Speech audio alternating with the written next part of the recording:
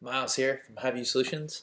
Uh, I want to explain the difference between archiving and deleting in Gmail. Uh, this is a major point of confusion uh, for new Gmail users.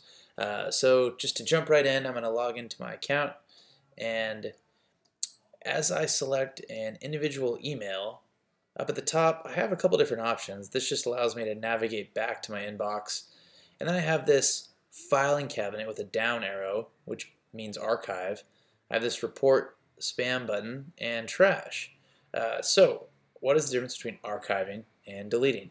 Uh, archiving simply means uh, take out of my inbox, but retain in my account so I could find it later, either through a label, a star, or performing a search. What's nice about this is it removes uh, emails from your inbox. You're able to keep a nice, tidy inbox, uh, but that email is retained uh, in your account so that way it can be referenced and found later.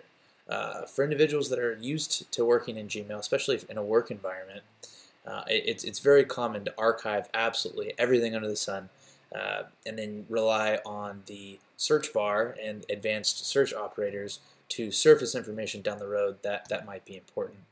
Uh, you can delete emails if you want, um, but in general, uh, with the Gmail system, we, we encourage everyone to uh, adopt the practice of archiving.